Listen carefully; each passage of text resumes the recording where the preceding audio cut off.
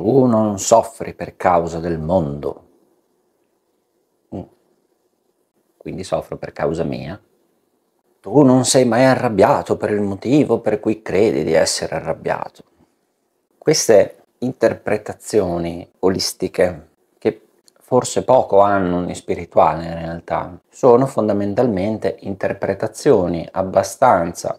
superficiali di un fenomeno, di meccanismi leggermente più complessi. Se tu soffri perché non hai fatto i compitini spirituali, facciamo una cosa. Torniamo indietro, cerchiamo di capire bene come funziona questo meccanismo che ci crea la sofferenza nella nostra esistenza, dove per sofferenza si può intendere anche il non raggiungere risultati sperati, non raggiungere obiettivi, non eh, riuscire a essere semplicemente in pace nella propria esistenza terrena.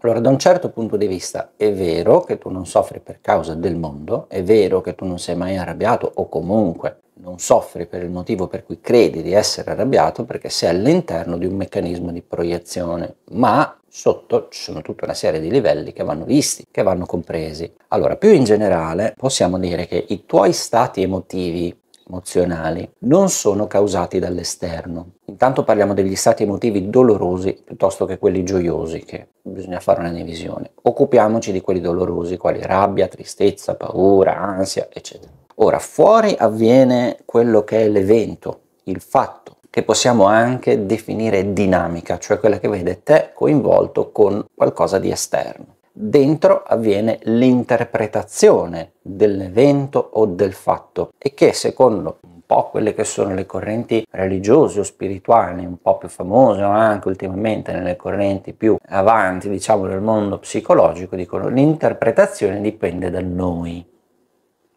Quel noi è tra virgolette però,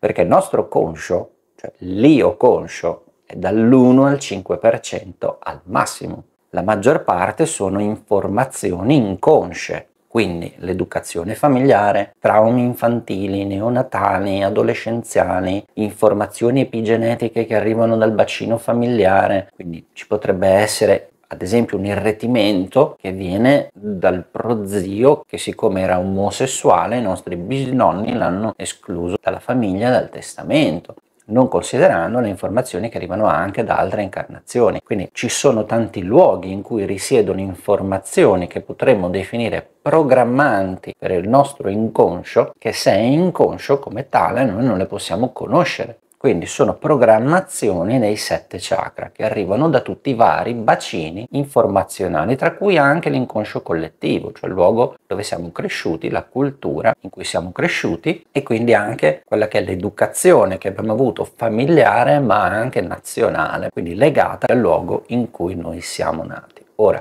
secondo il Buddha, la sofferenza che spesso noi identifichiamo come karma, ma in realtà è solo una parte del karma, dipenderebbe specificatamente la sofferenza dal valore che io attribuisco alle cose. Quindi se ho attribuito un valore negativo a una cosa, mi scontro con quella cosa, ecco che ciò mi provocherà sofferenza inevitabilmente. Quindi un'idea conscia inconscia, quindi una credenza che io ho registrato da qualche parte, che Jung definirebbe ombra interiore, quando ci scontriamo con essa realmente, quindi un, da una tematica registrata interiormente, attiviamo quella che è una dinamica nel mondo, ciò ci va a provocare semplicemente sofferenza. Quindi, secondo il Buddha, per come dice nella terza nobile verità, cambiando la scala di valori, per come la chiama lui, dove ciò che più è transitorio è maggiormente desiderabile, quindi la classica via del non attaccamento, quindi dovremo ovviamente spostare la nostra scala di valori su ciò che più è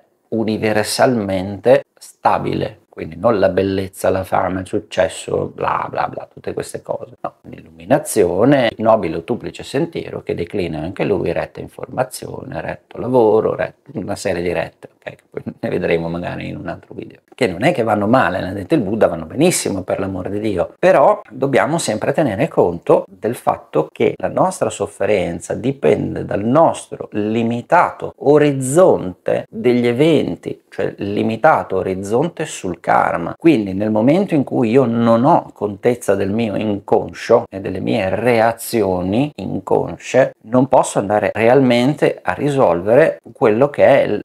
blocco, blocco karmico anche. Cosa può essere un blocco? Quello che vogliamo, quello che reputiamo come qualcosa che nella nostra vita non riusciamo a realizzare, non riusciamo a concretizzare, che sia la pace interiore, vivere serenamente, riuscire a pagare le bollette, avere rapporti soddisfacenti, riuscire a fare pace con i genitori piuttosto che non farci riconoscere dai genitori, l'amore che non eh, riusciamo a conseguire, essere sempre lasciati piuttosto che non subire sempre mobbing sul lavoro. Le dinamiche possono essere qualsiasi cosa che ti venga in mente in questo momento, ma se noi non riusciamo ad avere un orizzonte chiaro quali sono tutte le informazioni, soprattutto quali sono i traumi genealogici, le ferite che possiamo avere e che ci possiamo portare dall'infanzia, quindi sia dalle informazioni prenatali, in grembo, in utero, le informazioni neonatali nei primi tre anni di vita, le informazioni infantili fino ad arrivare all'adolescenza, quindi laddove si struttura maggiormente il nostro karma, quindi la coazione a ripetere anche per come l'ha definita Freud, e laddove non abbiamo ovviamente contezza di ciò che può essere successo ai nostri avi e che epigeneticamente a livello cellulare noi abbiamo queste memorie nei nostri geni, perché noi veniamo da lì. Così come sicuramente noi non abbiamo memoria delle nostre altre incarnazioni più vicini a noi che creano frequenza, che comunque sono nel nostro bacino informazionale animico, quello quindi definito bacino karmico. Sotto 100.000 vite, non tutte